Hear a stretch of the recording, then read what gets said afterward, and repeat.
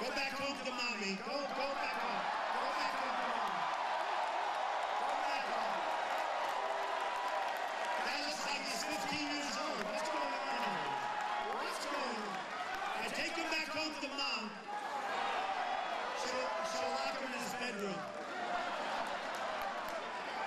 So, so folks, so folks, here's what happens. I will call up Carrier, the president, because I have to do it myself. I know it's not. Thank